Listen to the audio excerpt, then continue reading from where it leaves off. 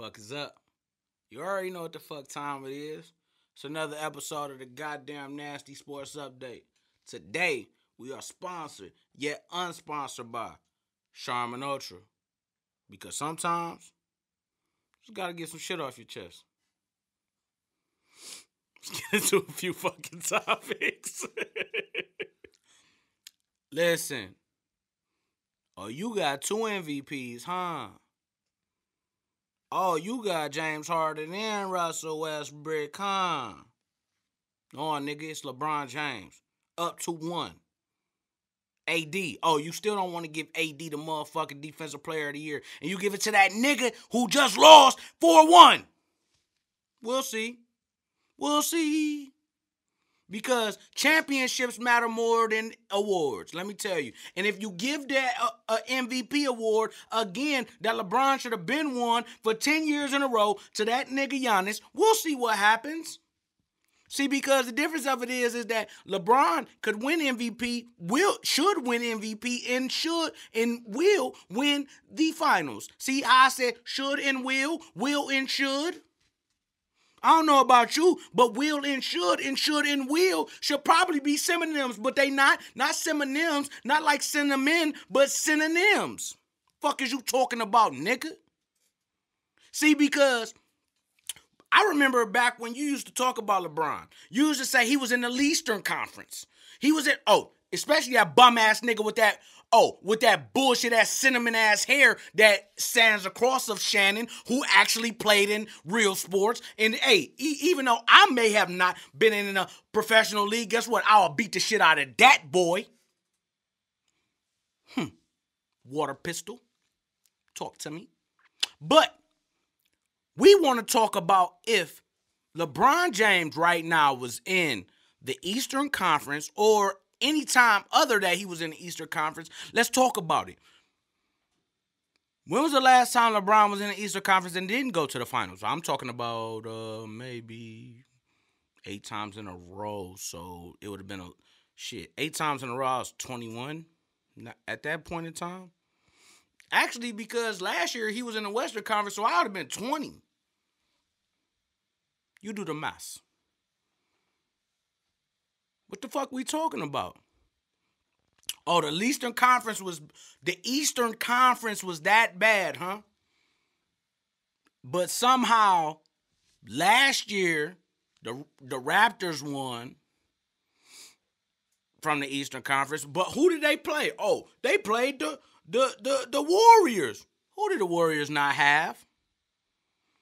Hold on. Did that motherfucker Kevin Durant didn't play but one game for four minutes? Did that motherfucker Klay Thompson tear his ACL? Oh, but we don't talk about none of that. I'm just lost. I'm just lost. I'm just lost. And now we sitting there talking about the same Eastern Conference that Giannis is supposed to be the best, that got the best record, and this nigga is at home sitting with his leg up on the couch. This nigga got three pillows underneath his leg right now. Against the Heat. Bro, let me tell you something. When LeBron left the Heat, how many times did they go to the fucking playoffs? It's like when Peyton Manning left the Colts. When LeBron when LeBron leaves teams, them niggas don't even go to the offs. You know what happens? Them niggas go to the lottery. And I ain't talking about the one that got the tree on it. I'm talking about the one that hopefully got me on it. And I ain't no hooper, nigga. I'm just gonna bet to say, hey, shit, I know who the best nigga is. See, a lot of you niggas is lame, bro. A lot of you niggas only look at certain shit that curves, curbs your enthusiasm. Shout out to that motherfucker uh that's best friends with Jerry Seinfeld. Hey Larry, I don't know what to say. Shit, you got the unicorn head. Except it go this way. like, the fuck, bro. All I know is this: Giannis is out, four one. Got put out by the Heat. Let me tell you this: if the Heat somehow make it to the dance, if they make it to the dance, whether it be against the Lakers or the Clippers, them niggas is getting 4-0 swept. This nigga Jimmy Butler went from 70,000 different teams. He played against the Bulls with LeBron. Get him out of here. He played against the Wolves with LeBron. Get him out of here. He played against the Sixers with against LeBron. Get him out of here. He now he's with the Heat, the old team that LeBron played for. Do you think that that's gonna happen? Fuck is we talking about? Then you niggas want to talk about uh uh uh you know uh what the Celtics? Do you not remember what LeBron did to them niggas by himself? Are you niggas stupid? Look at my hair. I look stupid. Look like Coolio. But guess what? Nigga, the fuck is you niggas talking about? I'm just trying to tell you, dog. Football's coming up soon. Shout out to Ryan Shazier, man. That that was gonna be my that's that's my cool down. Ryan Shazier says that he's um retiring. We all know he had a crazy spinal injury, you know, and one thing for sure, two things for certain. I've never I love I've never seen a man with that much um fight in him that says, you know what, no matter what, I'm not gonna be paralyzed. I don't know what that takes. I don't know how you do that. But what I do know is this.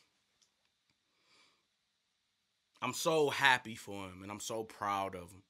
And I'm so happy for that Pittsburgh organization who has been a staple in the NFL for years and years to show that they didn't get rid of his contract because it wasn't his fault that that happened. He was a cog. He was the captain of those defenses and a Pittsburgh Steeler team that is the steel curtain, which goes to the defensive side of the football.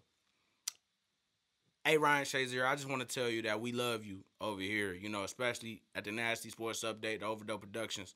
Um, and you know, I joked on Giannis. I Giannis, I don't want you to be hurt forever, bro. I want to make sure that you know you had a tough ankle injury, and I know that you're taller and the way that you play basketball is different than everybody else. And sometimes with the taller players and the player that's limber like you, sometimes that can ruin your career. I don't want you to ruin your career, but I also want you to know, and I want the people out there to know, that that's the greatness of LeBron James. We need to realize that Kawhi Leonard, you playing against the Nuggets tonight, baby, again. And when you see this, it'll be Nuggets versus Lakers or Nuggets versus Clippers. It's gonna be this is a tough game.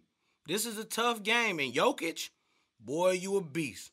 Hey man, this is possibly the best sports we're gonna see for the rest of 2020. And you motherfuckers out there that's looking at me and that's looking at these games need to realize that this is the greatest amount of sports we're gonna see for this year.